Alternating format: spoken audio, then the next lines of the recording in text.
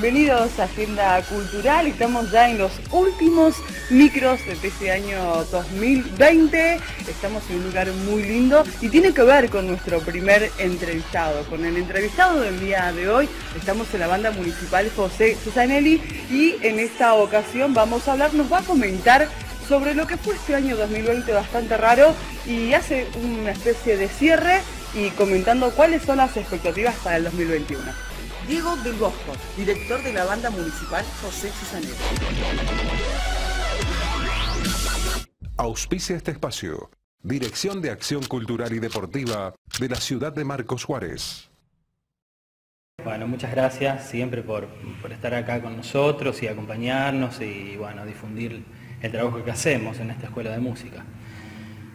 El año, a ver, que, que, se, que se termine de una vez por todas.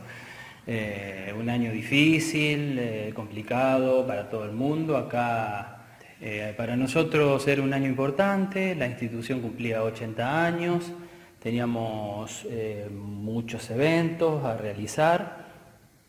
Por supuesto que no pudimos hacer nada de todo lo que teníamos programado, pero bueno, particularmente yo siempre estuve aquí en la banda, desde marzo siempre estuve viniendo todos los días y fuimos adelantando trabajo y fuimos haciendo, tratando de hacer cosas eh, para que cuando se pueda o nos daban un clarito poder desarrollar algo. Y, lo hicimos así, de esta forma. Eh, hicimos eh, generalmente audiovisuales, por supuesto, pudimos ensayar, cuando se pudo pudimos ensayar, armamos bien grande en el salón, bien distanciados, tenemos un lugar cómodo, así que lo pudimos hacer. y bueno, y lo que pudimos eh, desarrollar, lo hicimos con, ganas, con entusiasmo, a lo mejor no con, el nivel artístico que, quisiéramos, porque obviamente la gente nos estaba tocando y, cada uno este año en sus eh, vidas personales, todos estuvimos complicados. Nosotros hicimos un último audiovisual de cuatro temas, Que sí, que lo presentamos como un trabajo final de año y ya no, no, vale la pena seguir haciendo nada porque no se puede hacer nada.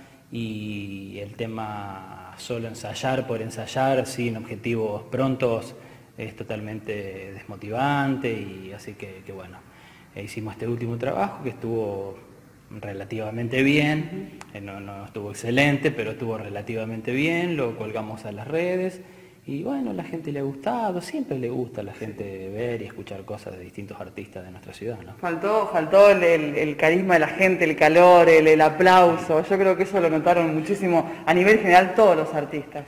Sí, yo creo que este último concierto, nosotros hacíamos un año que no estábamos en la sala porque habíamos desarrollado un concierto el año pasado eh, junto con Gaby Fidelius, que habíamos eh, hecho algo en noviembre por ahí. Y sí, sí, sí, es raro, definitivamente es raro estar en la sala, tocar y que yo generalmente estoy de espalda al público y no, no, sentir, no sentir el público es, una sensación bastante rara y, triste, a la vez, ¿no? Pero, pero bueno, es lo que se puede hacer. Bueno, expectativas para el año que viene me imagino que son positivas, eh, siempre y cuando todo esto lo permita y se comience de otra forma el próximo año. ¿Van a arrancar con las inscripciones? ¿Cómo se viene la banda para el 2021? Nosotros vamos a arrancar eh, como es habitual en el mes de febrero con inscripciones. En el mes de febrero vamos a comenzar los ensayos, como, ah, lo hacemos siempre. Tenemos programado eh, comenzar las clases también. Creo que va a ser un año complicado también, pero bueno, eh, por lo menos vamos a tratar de, de comenzar y de última terminar lo más esperanzado posible. ¿no?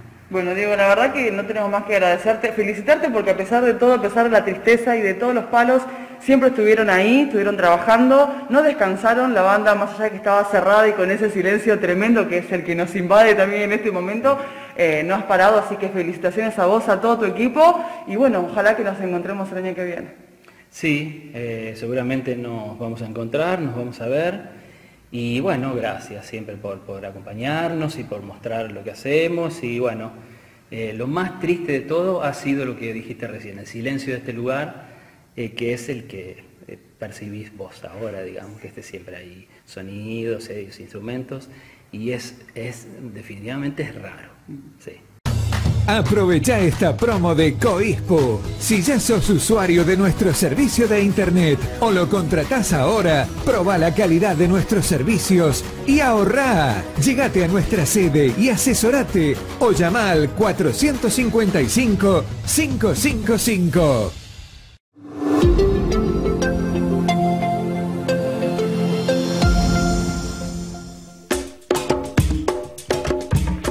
Habrán podido apreciar lo mismo que nosotros realmente en sus ojos. Se ve la tristeza de Diego al ver este lugar con tanto silencio, tanto vacío. Ojalá que para el próximo año todo cambie y realmente podamos disfrutar estas hermosas instalaciones. Gracias Diego por abrirnos las puertas de esta linda escuela. Hacemos el cierre, por supuesto, agradeciendo a toda la gente que acompaña Agenda Cultural cada semana. Nos encontrás, por supuesto, y nos seguís el minuto a minuto en nuestra web, que es www.radioenserio.com y este micro también lo podés ver en nuestro canal de YouTube, que es Radio En Serio Hauper y, por supuesto, en www.trutv.com.ar. Nos reencontramos la semana que viene ya para palpitar los últimos micros de este 2020.